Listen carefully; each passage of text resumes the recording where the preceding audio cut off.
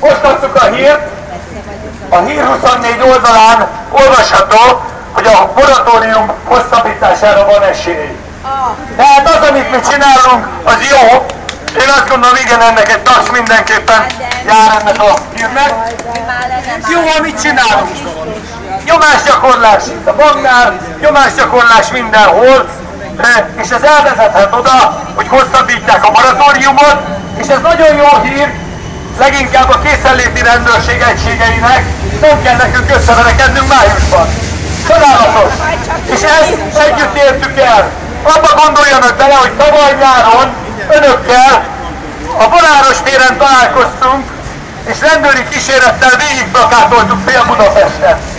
Tettük ugyanezt a Cinege útról, és még ezerszer és ezerszer.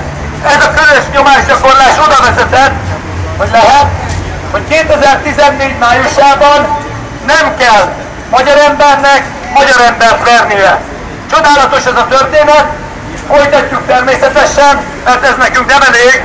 Mi azt szeretnénk, ha nem csak a házakat nem vennék el, hanem az autókat, a fizetéseket, a nyugdíjakat és az ingóságokat sem. Szeretnénk azt, hogyha itt végre Magyarországon rend lenne, elszámolnánk, kártérítést kapnánk, és minden magyar ember békében végre a munkájával foglalkozhatna.